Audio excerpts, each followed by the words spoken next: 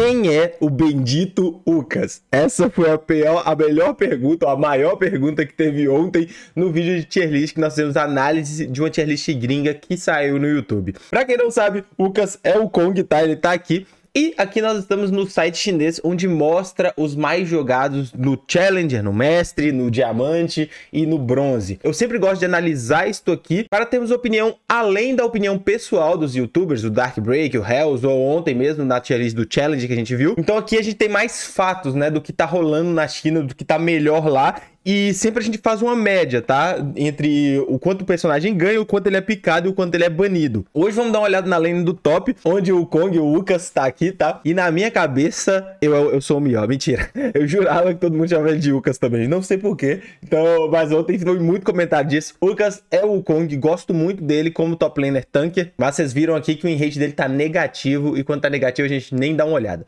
Nós vamos fazer uma análise de top lane hoje aqui, de acordo com a China, quais são os 5 melhores. Vem comigo que eu sou o Zerg, seja bem-vindo, evolução!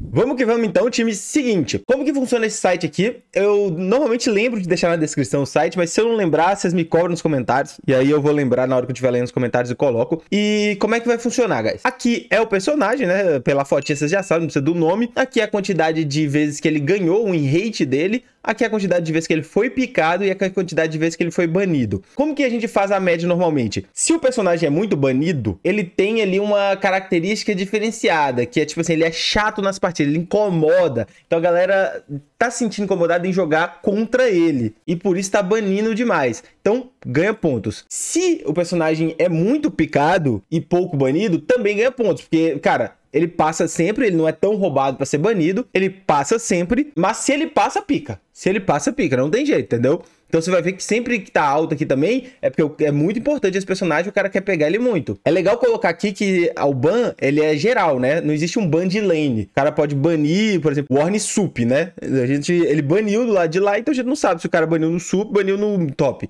Então esse ban é geral. Então tem que descontar um pouquinho essa quantidade de ban aqui na lane, que é a quantidade de pick na lane. E o in-rate, nós não consideramos o in-rate negativo, se for abaixo de 50% a gente nem considera o personagem, que a gente quer os melhores aqui, e acima, quanto mais acima for o in-rate, dependendo do ban e pick, é claro, porque a quantidade de ban e pick influencia no in-rate, melhor é. Mas esse in-rate é a terceira coisa que a gente olha para fazer uma médiazinha e ver qual que é o melhor, beleza? E quando eu falei de link, eu lembrei de uma parada que eu queria pedir para vocês, tá? É, esse Instagram aqui, que é o da SBE, vai estar tá aí na descrição. Entra lá agora rapidinho rapidinho, principalmente se você estiver no, no PC, só entra lá e depois você volta e dá um seguir lá para mim eu preciso chegar a mil seguidores lá, porque assim que eu chegar a mil seguidores, eu quero fazer um sorteio de skins lá também, é, para crescer esse Instagram. A ideia dele é chegar a 3 mil seguidores, sacou? Assim que lançar o site. Para quem não sabe, a SBE é a nossa academia de alta performance, né? Ela tem um braço de assistência de influenciadores também, e a gente trabalha com um projeto Wide Rift, que tá criando o site para ele, e deve estar pronto daqui dois meses. Então, meio que eu quero fazer propaganda desse Instagram para chegar para 3 mil seguidores na hora que lançar o site. É meio que uma estratégia de marketing, tá? Então, chegando a mil seguidores lá, eu já faço um sorteio lá no Instagram de skins aqui para agradecer essa galera que seguiu, né? Esses outros 500 que vão seguir lá. Se você puder, dá uma seguida lá e vamos voltar pra tier list. Zuf. Espero que o editor tenha feito uma transição de zuf bonitinha aí, né, velho? Aí, ó, tá aqui, ó, na barra minha de, de, endereço aqui, se vocês quiserem copiar, se eu esquecer. Mas eu vou postar isso, só me lembrar no comentário. Então, levando em consideração que o banho e hate sempre são os mais interessantes, e eu até gosto de puxar por in hate, tá? Que aqui a gente já vê os bans, a gente coloca aqui os maiores e o in hates, desculpa, pick hates, o in hate é aqui, ó, pá. A gente vai colocar os maiores pick rates primeiro, para analisar os maiores bans, os maiores pick rates, e depois a gente vai analisar os maiores win rates, tá? E aí a gente faz a nossa lista. Até por isso que a gente faz por lane, porque demora um pouquinho. Isso aqui já começou me surpreendendo. Quando se trata de pick rate, o mais picado no top é o Darius, cara. Darius é o personagem mais picado no top, e eu não jogo tanto com ele, nem jogo contra ele muito no Brasil, hein? Personagem híbrido, funciona muito bem, gosto bastante, pouco banido, você vê que ele não incomoda tanto, tá? A galera não vai focar em banidários e também com rate negativo. Lembrando que é no elo mais alto, tá? É nos High Challenger isso aqui. Não é High Elo, não. High Elo é aqui, ó. GM Challenger e tal. Aqui é High Challenger, tá? É os Challenger Top 100 lá. Então, já toma surpresa aqui, mas o Darius não conta porque ele tá negativo e a mesma coisa do Garen, tá? É, os, dois, os dois adversários aqui, né? Estão entrando um contra o outro na mesma faixa de pick rate, na mesma faixa de ban rate. E pode-se dizer que na mesma faixa de igualdade, né? Porque o que o, o Garen tem de ban a mais, o Darius tem de win rate a mais nas partidas. Então, caras são bem. Se a gente fosse dar uma nota pros dois, Os dois são, são nota 6 muito bem utilizados em jogos, tá? Agora o terceiro me surpreende ainda mais. Você vê que o pick rate dele é alto, o ban rate é zero, ninguém nem importa com ele. Só que o in-rate dele é bom, é positivo, tá? Ele ganha mais do que perde a longo prazo. Aqui, guys, uma informação que falta nesse site, que às vezes eu fico querendo saber, é a quantidade de partidas que foi analisada. Eu acredito que tenha pouquíssimas partidas de Nasus, tá? Pouquíssimas mesmo.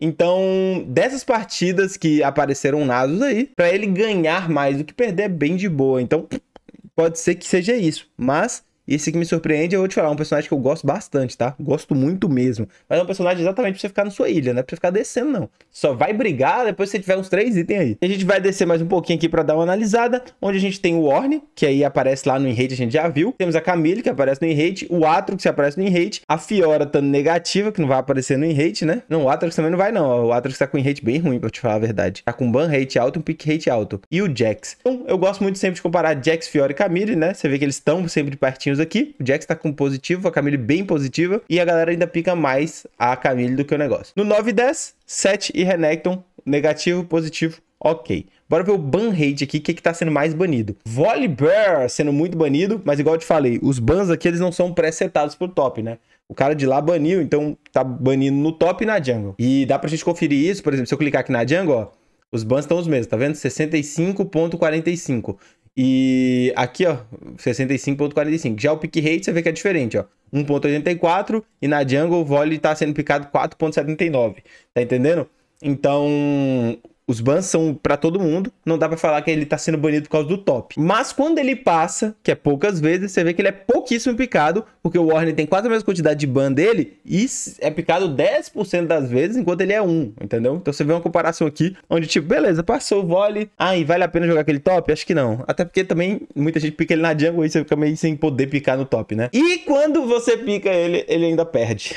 ele ainda tá negativo. Você vê que o vôlei não é realmente um, um top tier top lane, né? Em compensação, você vê muito ban no Warne, que roda mais ou menos a maioria das vezes na top lane, aqui, ó, 10% das vezes, e tá com rate gigantesco. Então não tem como a gente negar que o Warne é um monstro da top lane, né? Logo embaixo tem o Swain, que é banido em todas as lanes, tá? Mas com rate negativo, com pick rate no top bem baixinho o Atros com pick rate bom no top, a Camille com pick rate bom no top, dois bans bem altos, mas também híbridos, né? Ah, mais o Atrox híbrido pela jungle do que a Camille, mas a Camille tudo bem. E o Yone, sempre muito banido, tá? O Yone, é... a galera não gosta de jogar contra ele, mas sempre com rate negativo. Olha a Vayne top aqui, ó. Vayne top aparecendo, hein, guys? Ó, ó, ó. Meu Deus, eu não vi o Yasuo. Vocês não viram o Yasuo? Engraçado do Yasuo aqui, guys, é que o ban rate dele, 18% de ban rate, cara. Só que ele só perde, tadinha. E aí, por último, agora a gente faz os top 5, né? Que a gente vem aqui no win rate dele, do personagem, pra gente ver qual que é o melhor mesmo. E a gente já vê o Orne aqui com 59,59% de win rate, acima de todos os outros, né? No win rate aqui, sendo o melhor, o que mais ganha quando é picado, com 10% de pick rate não podendo ser maior, porque é banido 62% das vezes. Então dificilmente você vai conseguir picar mais muitas vezes ele, né? E também sendo usado outras lanes, depois a gente vai até olhar o Warner aqui no suporte, etc, etc. E com 62% de ban. Para mim, de longe, top 1 é o Warner, não tem o que falar, tá? É, tá mostrando aqui que ele tá bem eficiente e essa eficiência aqui é tão grande, tão grande, que vai ser, vai ser nerfado, tá? Tá muito acima, você vai ver que o segundo lugar de eficiência de vitória é a Camille com 53 já é acima da média, tá? Riot gosta de manter uma média ali de 52, 51 no personagem, não acima disso. Então, a Camille já tá com eficiência acima da média. Você vê que o pick rate dela também tá igual do Ornn, bem grande, e o ban rate dela tá começando a ficar grande também, porque tá chata de se enfrentar, ó. Então, você tá vendo aqui que nós temos dois personagens que em tese vão ser nerfados, mas se liga na diferença, né? É muita diferença isso aqui, cara. Então, comparado com aquela tier list de ontem, Orne, melhor top laner tank. Camille, melhor top laner split. Carry não, mas lá tava Carry, eu colocaria split, tá? Agora, o que tava na lista de ontem é que Singed. Singed era um top laner fraco, né? Um top laner que tava no B lá, no A, no A, não lembro. E você vê aqui que não é verdade, tá? 52% de win rate aqui, muito bom. Terceiro melhor win rate do top lane. Não é banido nunca, ninguém tá nem aí pra Singed, pode picar à vontade, tá? Se quiser ser mono Singed vai ser fácil. E é picado algumas vezes também, 1.70% das vezes, bem diferente, né? A cada 10 jogos, um o que você vai ver Camille ou Warne, você vai ver um, o Singed aí, pode-se dizer assim. Então poucas pessoas jogam com ele, ele é bem específico, o jeito de jogar é diferente, mas funciona muito bem. Nem sei se dá pra gente considerar ele o terceiro melhor top laner, acho que não, tá? Igual eu te falei, o Enrate não pode ser o que a gente considera aqui de melhor nota, já que, velho, tem até menos jogos de Singed, né? Talvez o nosso terceiro lugar seja o Swain, e eu ainda tenho minhas dúvidas, tá? Porque, pensa comigo, o, o ban rate dele tá alto, que é o que a gente consideraria aqui, em primeiro lugar, porque ele também é banido em outras lanes, principalmente no mid, a gente sabe disso. Então, ele tem um pick rate de 2%, já o 7, que tá logo embaixo dele, tem um pick rate de 8%. Não é banido, ok? Então, pode ser mais vezes picado, a gente entende isso. Mas com o pick rate nessa altura aqui e com o rate igual, para mim o 7 fica em terceiro lugar, o que me surpreende bastante. Então a gente teria Orne em primeiro, Camila em segundo e 7 em terceiro lugar. Agora o quarto lugar Hum, Nasus é uma opção absurda, viu? 11% de pick rate aqui, bem alto o pick rate do Nasus, com um, um, ban rate de 1%, melhor do que do Shen e melhor do que do Set. E a vitória parecida aqui com o do Shen, tá? Então, acho que quarto lugar, vou até dar uma olhada aqui embaixo também, o que, a gente vai encontrar. Por exemplo, temos um Jace que também chama bem atenção, ó. 5%, 2% de ban, mas o NASA ainda é mais picado que o Jace. Temos o Atrox aqui, aí ó. Aqui já ganha do NASA, ó. Tá vendo como não é tão importante o win rate? Porque 50.19 para 50.68 não é tão diferencial. Mas 11 para 9 também não é tão diferencial. Agora, no ban rate, cara, o Atrox incomoda 38% mais do que o do que o, o Nasus. E a principal lane do Atrox é o top. Esse aqui não é um ban que a gente tá focado, tipo assim, ah, é porque na, na mid lane ele é banido demais. Não. A principal lane do Atrox é o top, né? A segunda melhor lane dele é o jungle. Então aqui nós temos, ó, um, um bom candidato para ser o quarto lugar no lugar do Nasus, né, velho? Temos o Jax logo embaixo, que é o último que é positivo, todos os outros são negativos, então não vão entrar na lista, né? estão perdendo mais do que ganhando. Eu entendo que isso aqui tem a ver com o jogador também, tá, guys? Mas a gente não pode colocar eles no top 5 se eles estão perdendo mais do que ganhando, né? Jax também é um campeão que tem essa, essa briga aqui com o Nasus, tá? Pode-se dizer, ó. Ganha bastante da, das partidas. É, só que o ban dele é bem baixo, então não dá pra entrar. E claro, a gente não pode deixar de falar da Vayne, só que a Vayne é muito banida na lane de ADC, diferente do Atrox, né?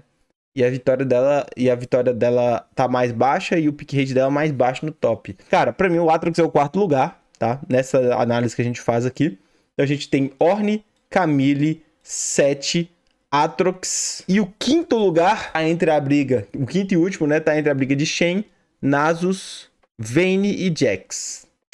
Shen, Nasus, Vayne e Jax. Por status, por status, Nasus, tá? Seria o quinto melhor top laner. Mas por pessoa, opinião própria, Jax.